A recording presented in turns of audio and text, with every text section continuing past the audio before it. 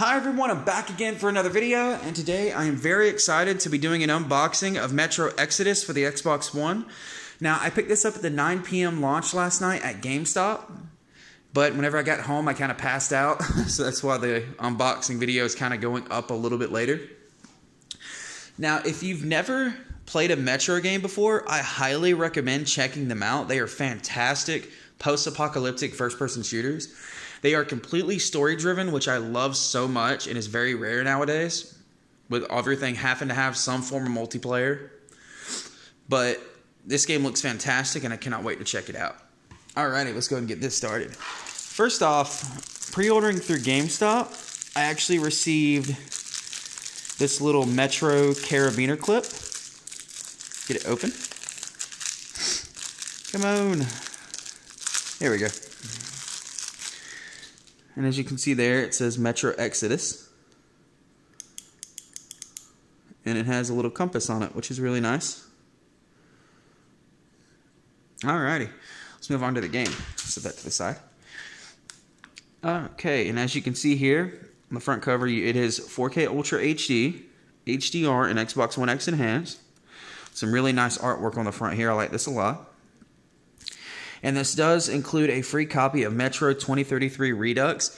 Now, I'm happy that they included a free copy of the first game, but at this point, it would have been really nice if they just included the full Metro Redux collection, like 2033 and Last Light. I think that would have been so much better, but it's still nice that they included one for free. Now, this is released by four, developed by 4A Games and published by Deep Silver, and it's rated M for mature. There's a good look at the spine. A good look at the back here.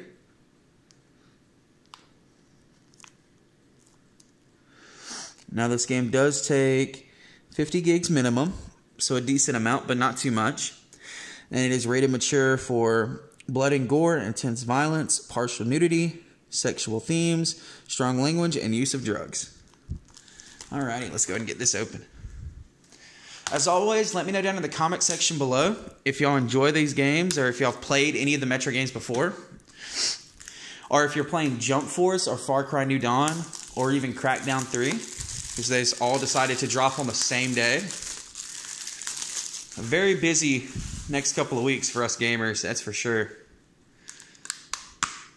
Okay. And the first thing you have on right, you have a good bit of stuff actually. You have your code for 2033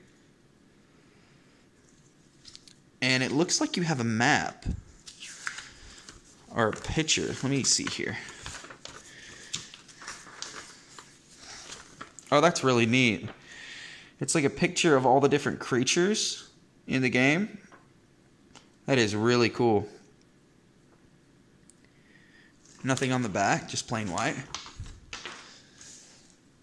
And then we have nothing on the back cover art besides just, you know, normal information. Let's get a good look at the disc here. Alrighty, well that was just a really quick video. I hope everyone enjoyed. If you did, as always, please make sure to give this video a thumbs up. Don't forget to comment, subscribe, and turn on notifications to stay up to date with all my future videos. Thank y'all, and everyone have a good one.